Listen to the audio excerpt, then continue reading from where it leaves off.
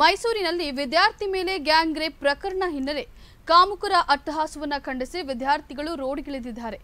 ಆರೋಪಿಗಳನ್ನು ಬಂಧಿಸುವಂತೆ ಮೈಸೂರಿನಲ್ಲಿ ಪ್ರೊಟೆಸ್ಟ್ ನಡೆಯುತ್ತಿದೆ. ತನಿಖೆ ಚುರುಕುಗೊಳಿಸಿ ಅಂತ ಪೊಲೀಸರ ವಿರುದ್ಧ ಆಕ್ರೋಶವನ್ನು ವ್ಯಕ್ತಪಡಿಸುತ್ತಿದ್ದಾರೆ.